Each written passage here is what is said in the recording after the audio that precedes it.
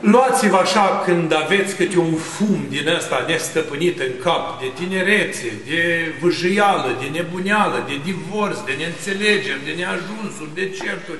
Faceți o plimbare prin Petru și Pavel, prin eternitate, prin bună vestire, prin Sfântul Vasile și priviți ce sobre și frumoase și ce stihuri cu tâlc sunt scrise pe toate monumentele și ce poze frumoase sunt puse și ce fel de oameni au existat pe acest pământ, cărora noi nu le dăm importanță. Deci noi trăim într-o imensă tablă de șah a divinității în care astăzi cade unul și este pus altul, astăzi cade unul și este pus altul și noi tot ne uităm în jur și vedem, dispare ăla, dispare ăla, dar rămânem nesimțiți. Deci nu ne interesează, nu ne gândim că mâine sau poi mâine noi putem fi la rând și nu mai putem exista pe acea tablă. Dar noi ne agităm, facem ca bere în sticlă, vrem, nu ne ajunge, ne trebuie, ne zbatem, ne ucidem între noi, ne mințim, ne batjocorim, ne scârboșim, Ei, dar uităm că la toate acestea sunt locurile de reflexie. Așa spune, zice, locul unde cocoșii nu cântă și câinii nu latră niciodată. De ce? Pentru că este satul celor adormiți. Ei acolo dorm în pace, dar dorm în pace cum? Dacă au murit în pace. Ce spune despre Lazar Evanghelia? Și murind Lazar, a fost dus în sânul lui Avram. Până aici e totul bine. Cine este Avram? Un patriarh al Vechiului Testament plăcut lui Dumnezeu, celui care Dumnezeu i-a dat făgăduință și pe speța sau linia genealogică a lui a ieșit tot poporul lui Israel și cele 12 seminții a lui Iacov. Bun până aici. Dar ce rol avea și ce rost avea înainte de înviere să vorbească Dumnezeu, adică Iisus Hristos, despre rai. Ce, noi nu știm la facere că a existat un rai? Nu știm că a fost izgonit Adam și Eva din rai? Nu. Pe parcursul Vechiului Testament, pentru că moartea era veșnică și robia era a diavolului, dacă veți citi la Patriarhul Avram, spune așa, și s-a pogorât cu jale bătrânețele mele în iad. Deci supărarea că se desparte de Dumnezeu, căruia aducea jerfe, că Avram ăsta a fost un om credincios, n-a fost oricine. El a avut și oi, și turme, și bogății, și toate, dar a ospătat la masa casei sale pe cei trei tineri în chip de îngeri, simbolul Sfintei Treimi, care au venit și au pierdut în urma sfatului cu Avram Sodoma și Gomora, care n-avea niciun drept, era plină doar de ticăloși.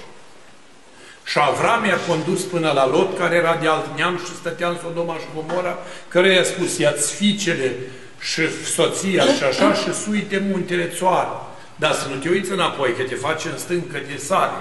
Și într-adevăr, soția și-a adus aminte că au mai rămas bijuterii și când a întors capul, acolo a rămas. Cei care au mers pe pustiul Sinai au văzut stânca aia imensă, înaltă, parcă e un obelisc. Deci asta e simbolul femeii lui Avram, așa se, a lui Lot, așa se spune că ea s-a prefăcut în stâncă la Marea Moarte. De ce lucru ăsta? Pentru că cele două cetăți în răsăritul soarelui au fost arse cu foc și pucioase. Iată primul semn al iadului. Mântuitorul folosește foarte des termenul de ghenă Ghena, care este undeva în localizată ca zonă în Ierusalim, uh, vis-a-vis -vis de Biserica Națiunilor în Valea Cedrilor, exact acolo unde este și mormântul lui Abesalom, sub, sub poarta de aur, jos în marginea pârâului Ierusalimului. De ce acolo s ardeau toate gunoaiele? Închide telefonul. În momentul în care a vorbit de ghienă, a vorbit nu de o ghienă trecătoare, ci de un foc nestins. Și de ce a vorbit de un foc nestins? Ca să se știe că era locul de muncă a păcătoșilor. Că așa spune psaltirea, și au scris numele lor pe averi, pe moșii, pe casele lor, dar casa lor este, iadul în veacul veacului și ei s-au dus ca oile de junghiere, bat jocura diavolilor. Dar nu aici vreau să mă opresc. Nu putea Dumnezeu, a cărui milostivire este nepătrunsă, neînțeleasă, neajunsă, nepricepută minții omenești, să lase drepții Vechiului Testament să sufere. Și atunci, de la legământul cu Avram, în momentul când patriarhul Avram s-a săvârșit, și probabil și până la el, dar i-a dat această titulatură datorită bunătății patriarhului Avram, a făcut latura celor vii, o latura iadului unde era întuneric, dar nu era muncă. Spune Iov că acolo lumina este întuneric de nepătruns. Lumina lui, adică lumina lui Dumnezeu. Dar totuși în acel întuneric de nepătruns, cine stătea? Stăteau prorocii Vechiului Testament. În latura celor vii, în sânul lui Avram, cum spunem noi la Parastas, în latura celor vii, în sânul lui Avram, cu drepții să-i numele, să-i odihnească și așa mai departe. Deci locul acela era păstrat ca nemuncă pentru cei din Vechiul Testament care păzeau legea lui Dumnezeu. Și atunci, în momentul când Lazar a avut această săvârșire groaznică, paralizat, bubos, jegos, râios, chinuit, flământ, lins de câini, dacă câinilor li s-a făcut milă și îl lingeau pentru puroiul bubelor, și bogatului nu i s-a stârnit un gram de compasiune. Și aici frumos spune Teofilact al Bulgariei, zice, păi cum să nu lingă câinii bubele lui Lazar când nici ei nu primeau o coajă de pâine? Deci tot de foame lingeau rănile.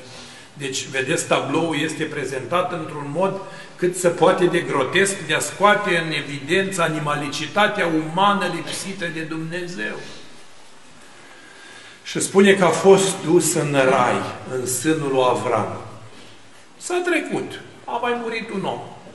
Dar iată că a survenit imediat, nu la mult timp, și vedeți pe temeiuri diferite, la timpuri nu exacte, moartea bogatului. Vă închipuiți ce înseamnă moartea bogatului? Ați avut ocazia nu știu dacă în Vechiul Testament să dădea ca acum sarmale și cozonac și colivă și așa mai departe.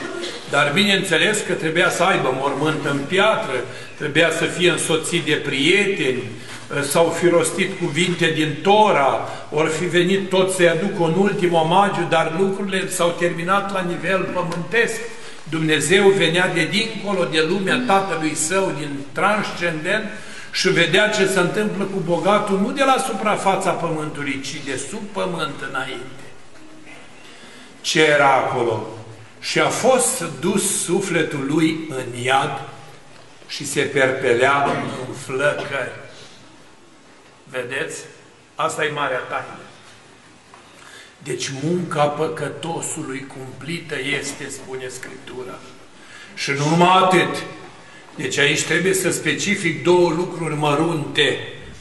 În eschatologia particulară, adică ieșirea sufletului nostru personal, fiecare om are o cântărire a faptelor sale până la momentul încheierii contractului cu viața. Încetarea biologică a inimii și plecarea sufletului la calea veșniciei.